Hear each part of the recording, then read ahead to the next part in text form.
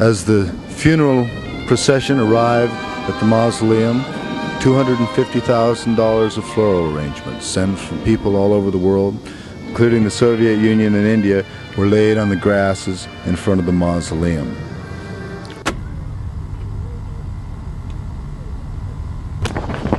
My name's Art Wicks.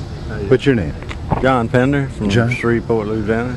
You were down at the Elvis Presley mausoleum? No, we- well, yes, sir. We were in here with Shriners, Uh-huh. Shriners Convention, and uh, headed back. We just come out from the parade. Got a big parade going uptown.